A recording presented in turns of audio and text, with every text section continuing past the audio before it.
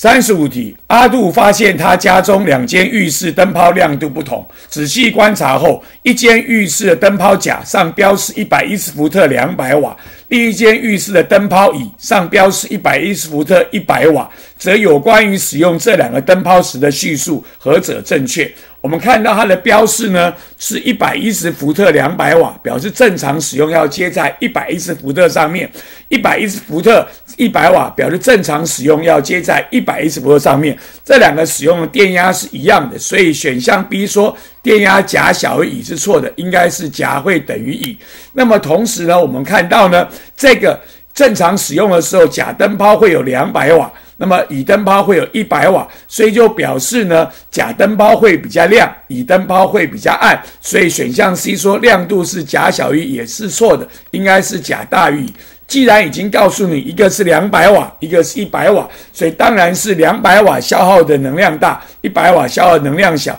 所以选项猪说消耗电能甲等于乙也是错的，还是甲会大于。那么至于电流呢？现在题目上面呢是有功率，那么有电压，所以要求电流是 P 等于。I V，现在我们的电压大家都一样，所以我们就知道，如果功率比较大的电流就会比较大。假的功率两百瓦比较大，所以它的电流就会比较大。所以我们就看到选项 A 是对的。所以第三十五题问我们说，有关于使用这两个灯泡时的叙述何者正确？我们答案呢要选的是 A，电流甲大于乙。